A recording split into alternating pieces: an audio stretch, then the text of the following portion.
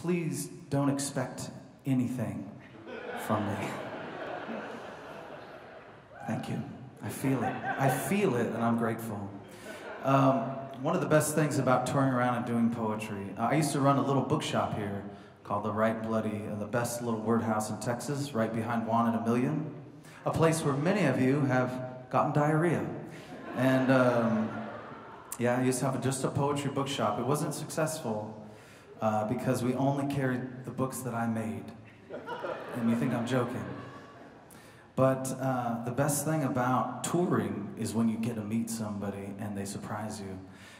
And I got to go to a town that you might know as the Lord's butthole. It's called Amarillo, Texas. And I was in a, did someone say, ow?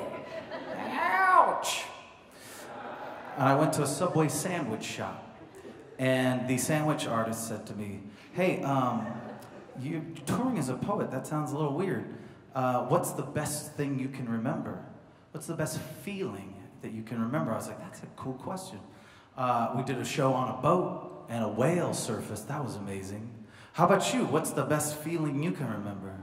And he said, oh, well, at the end of my shift, I love to take one of my surgical gloves and I like to fill it with all the leftover guacamole. And then I like to take my hand and I like to slide it into that surgical glove and then I squeeze, and then I open it, and then I squeeze. And I said to him, Do you ever get lonely? And I swear to God, he said, Never.